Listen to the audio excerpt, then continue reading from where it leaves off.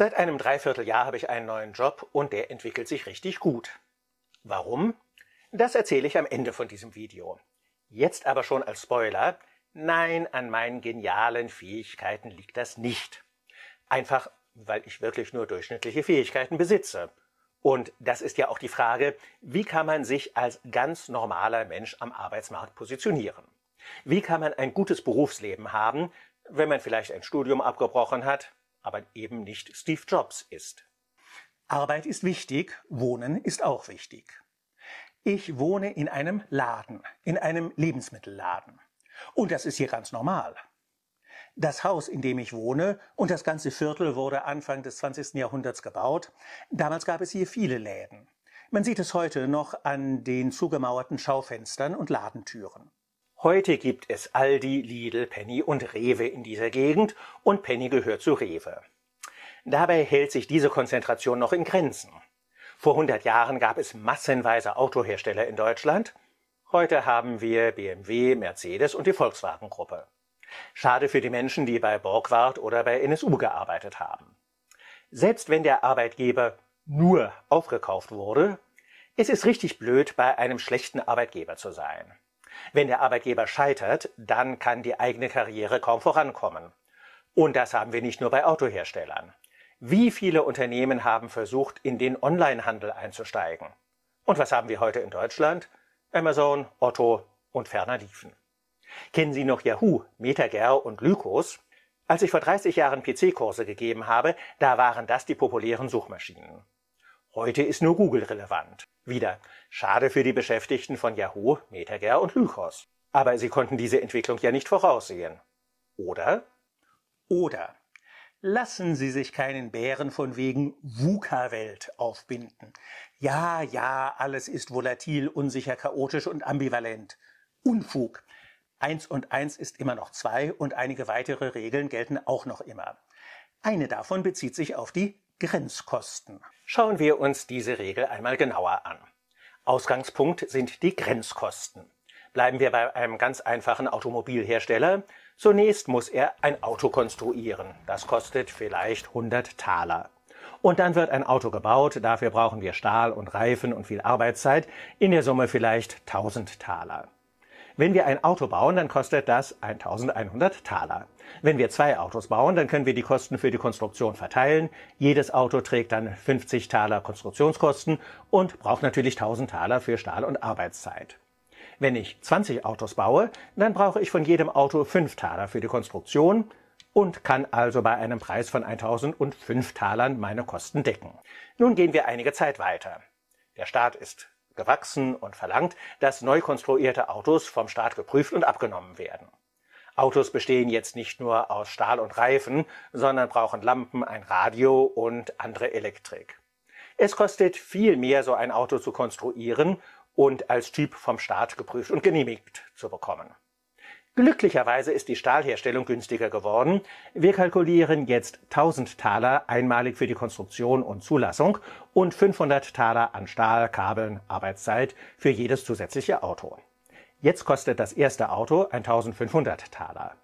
Wenn wir 20 Autos absetzen, dann können wir für 50 Taler anteilige Fixkosten plus 500 Taler Grenzkosten also insgesamt 550 Taler anbieten. Das ist ein Unterschied. Im ersten Fall hatten wir die Situation, wenn 20 Autohersteller jeweils ein Auto verkaufen, dann kostet jedes Auto 1100 Taler. Wenn ein Hersteller 20 Autos verkauft, dann kostet jedes Auto 1005 Taler. Das ist kein riesiger Unterschied. Jetzt haben wir die Situation, wenn 20 Autohersteller jeweils ein Auto verkaufen, dann kostet jedes Auto 1500 Taler. Wenn ein Autohersteller 20 Autos verkauft, dann kostet jedes Auto 550 Taler. Das ist nur ein rundes Drittel des vorherigen Preises.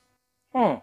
Da könnten einige Autohersteller auf die Idee kommen, sich zusammenzuschließen und gemeinsam viel günstiger zu produzieren.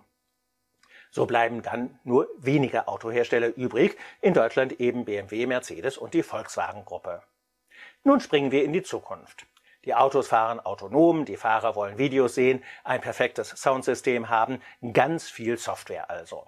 Der Staat will sich viel genauer ansehen, was denn da auf den Straßen autonom fährt. Konstruktion, Software und Zulassung kosten 10.000 Taler. Die Materialien sind noch einmal günstiger geworden, vor allem haben wir die Produktion automatisiert und können so Arbeitszeit einsparen. Wir müssen also für jedes weitere Auto 300 Taler bezahlen. Kalkulieren wir ein letztes Mal. Wenn wir nur ein Auto bauen, dann kostet dies 10.000 Taler an Fixkosten und 300 Taler an Grenzkosten. Wenn wir 20 Autos bauen, dann brauchen wir 500 Taler Fixkosten für jedes Auto plus 300 Taler Grenzkosten. Also, wenn 20 Hersteller je ein Auto verkaufen, dann kostet jedes Auto 10.300 Taler. Wenn ein Hersteller 20 Autos verkauft, dann kostet jedes Auto 800 Taler. Deutlich weniger als ein Zehntel. Die Konsequenz ist, Autohersteller schließen sich zusammen. Es ist einfach viel, viel wirtschaftlicher, in einem großen Unternehmen zu produzieren und dann den Gewinn zu teilen. Das gilt schön für Produkte, die für jedes Stück Material und Arbeitszeit verbrauchen, die also echte Grenzkosten haben. Nun stellen wir uns das Ganze vor für Software. Was kostet es Microsoft, eine weitere Version von Windows auszuliefern? Da sind noch nicht einmal Disketten oder CDs nötig, nur ein Download. Oder meine Branche Bildung. Wie viel kostet es meine Hochschule, einen weiteren Studierenden aufzunehmen? Wundert es noch jemanden, dass es in einigen Branchen einen geradezu naturwüchsigen, fast unwiderstehlichen Trend zur Konzentration gibt? Jetzt haben wir die Vergangenheit verstanden.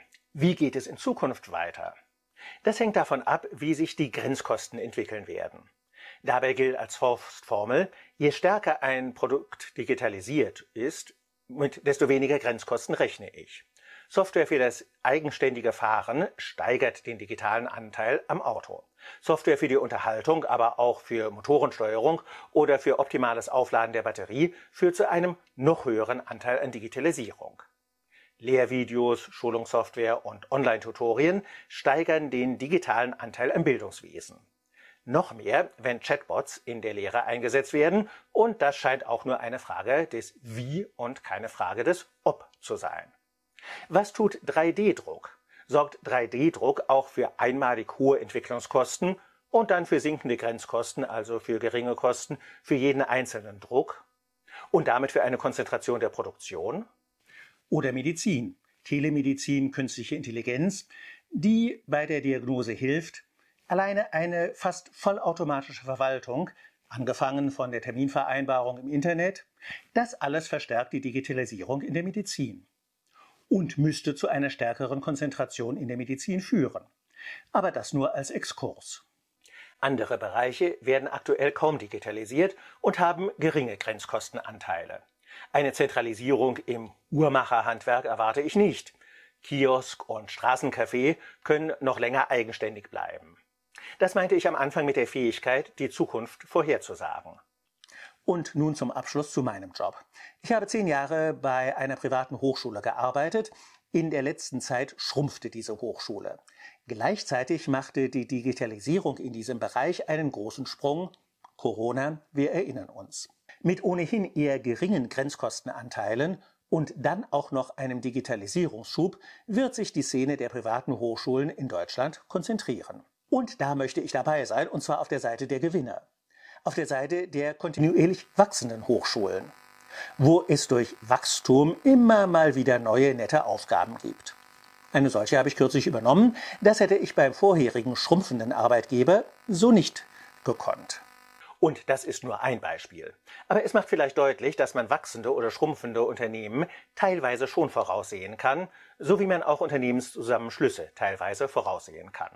Die Arbeitsbedingungen in einem wachsenden Unternehmen sind meist angenehmer. Wer auch mal etwas anderes machen möchte, der findet bei einem wachsenden Unternehmen eher die Möglichkeit. Und deshalb sollten auch Sie sich immer einmal wieder Gedanken machen, spiele ich noch auf dem richtigen Spielfeld? Und wenn Unternehmenszusammenschlüsse und Marktbereinigungen anstehen, bin ich dann wirklich auf der richtigen Seite? Bei diesen Fragen hilft dann ein Konzept wie das der Grenzkosten. Selbstverständlich gibt es weitere nützliche Konzepte und dazu lade ich auch immer wieder Videos auf diesem Kanal hoch. Zwei davon verlinke ich hier und freue mich, Sie dort wiederzusehen.